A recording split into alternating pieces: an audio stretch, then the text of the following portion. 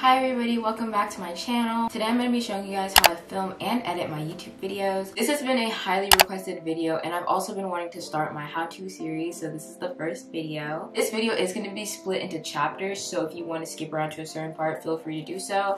And the timestamps will be in the description box down below. So there's a lot of things that go into like filming and editing YouTube videos. So I make sure I wrote down a little script so I don't forget any notes and stuff. So if I'm looking down, that's what I'm looking at. The first thing I'm gonna talk about is filming. There are so many types of videos that you can film, which obviously depends on your niche on YouTube and also just the type of videos you like and wanna do. For me, I tend to do a lot of vlogs, but I also have been trying to switch to like hauls and like routines and then like how-to videos like so. Depending on the type of video you want to film, it also will depend on the time you film. For example, my pulling an all-nighter video, obviously I had to film that at nighttime. So this also goes hand in hand with equipment. Depending on the video you want to film also depends on the type of equipment you're going to need, the lighting, all that good stuff. I usually tend to film my videos during the day just because I have natural lighting, which I love for my videos. So to get into specific, I'm currently filming on my Canon EOS M50 which is my main camera. I usually film everything on that. Only other thing I used to film is my phone, so I really only use two cameras, you could say. I have so, so many tripods. I have like three for vlogging, and I have one main one, which is what my camera is sitting on right now. Another really important piece of equipment that you guys will need is adapters. So this one I connect to my monitor because I do have a monitor, so sometimes I edit on that. And this one just goes strictly to my MacBook. This is basically when you take out your SD card from your camera, you have to put it in this so you can transfer it to your computer, your MacBook, whatever. So this is really important. I suggest if you guys don't have this, get one of these. Another really good piece of equipment that I strongly recommend is getting a external hard drive. Editing, especially on like a MacBook, takes up so much of your storage. It takes up so much space on your computer, your laptop. So definitely suggest getting like an external one just so when you edit, all your stuff can just stay on here and it's not actually going on your actual computer. So you're saving up storage and in case you delete something, it will be saved externally.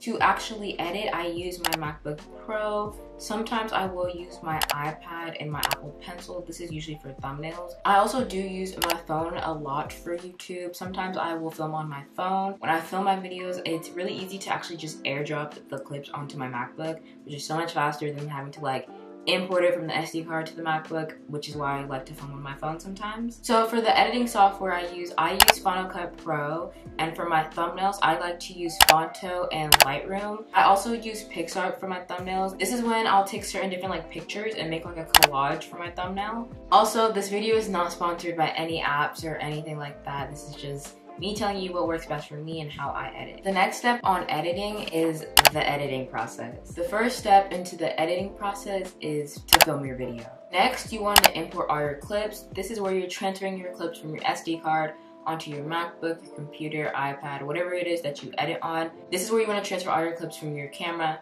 to your device. When you're on Final Cut Pro, the first thing you want to do is make a new library. After you make your library, you're going to make a new project in that library and title it the title of your video. Next thing you want to do essentially is just to start editing. Next thing is rough cuts and I'm going to have a whole section talking about rough cuts. Then my favorite part, add the fun stuff is what I call it. This includes text, transition, effects, zoom ins, all that fun stuff hint the name. This next step can either happen before or after the fun stuff, and this is just when you add your music. Sometimes I like to add my music in the beginning just so I can kind of get like the vibe of how I want my video to go, what type of music I want. I can kind of just like see it at a glance. The next step is to add in your normal stuff. This basically includes like the subscribe button, your intro, your outro, maybe your socials, all that stuff that you kind of just already have in your video, that's when you would add that. Then I'll make a thumbnail for my video. The last step is to essentially upload it to YouTube and that's basically the editing process at a glance.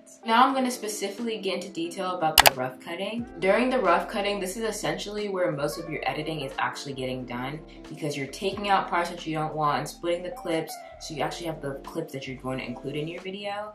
This tends to be like the longest part of editing just because you have to go through the whole video, chopping up clips, taking pieces out, maybe switching it around. So it definitely does take a long time and I will say I do tend to get unmotivated when editing during this part because it takes so so long and it is so so boring. Rough cutting is such an important part of your video though just because you don't want to have like weird awkward pauses like this Like you don't want that in your video. You kind of want it to be smooth, fluid, be able to flow nicely. So that's why rough cutting is really important because you want to take out those annoying long pauses. So the next thing I'm going to talk about is text. This is one of the elements in the fun stuff. Adding text can honestly make or break your video just because it makes your video a lot more interesting to watch, but sometimes if you add too much text, it kind of takes away from the video. For any of you guys wondering what fonts and stuff I use, I'll put them all on the screen. There are also so many ways that you can customize and change your text. You can change the font, the size, the color, all of that, which also helps you make your video a lot more interesting, a lot more fun to watch. Personally, my favorite way to customize text is by changing the color in the font. So the next thing I'm going to talk about is transitions. Personally, I like to use transitions when I'm switching between two different things. For example, if I'm switching from one place to another. Some transitions I like to do is the slide transition, which looks something like this. Another transition, which is personally my favorite, is what I call the glitch transition. To do the glitch transition, all you need to do is split the end of one clip and the beginning of the other clip that you want to have the transition in. On the two clips that you split, you're going to go to effects and look for the glitch TV effect, and you're going to put it on the spots that you split, and then you have your glitch transition. The next thing I'm going to talk about is music. When you are adding music into your videos, you need to make sure that you're using copyright-free music. If you don't use copyright-free music, YouTube can actually take down your video which we totally do not want. We want our videos to stay up on our channel, so make sure you guys are using copyright-free music.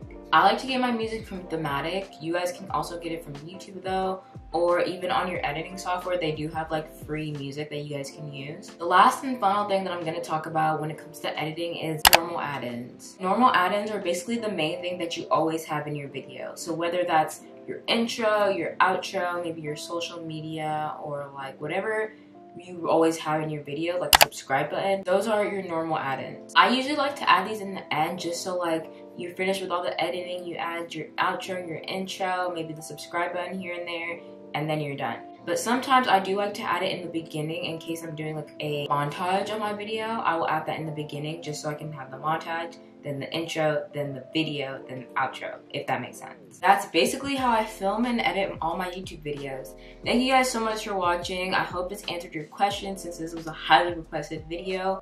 And if I didn't explain anything, there's so many other videos on YouTube that will explain like how to edit, how to do certain things. I know some people don't edit on Final Cut Pro, so if you guys don't edit on Final Cut Pro, there are tons and tons of tutorials on YouTube, so definitely go check some of those out. Thank you guys for watching. I'll see you guys next week. Bye!